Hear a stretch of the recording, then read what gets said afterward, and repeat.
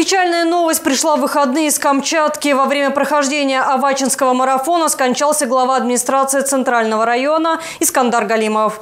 Ему было 61 год. Чиновнику стало плохо на 40-м километре трассы.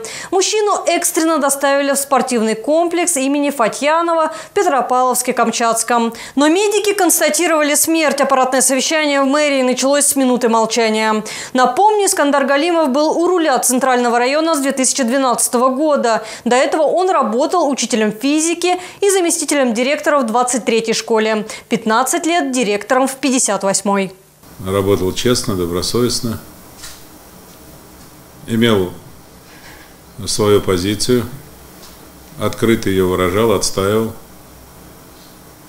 Активно работал с гражданами по всем вопросам жизнедеятельности района.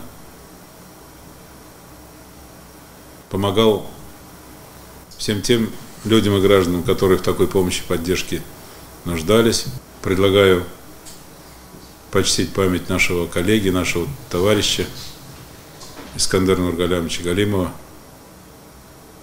минуты молчания.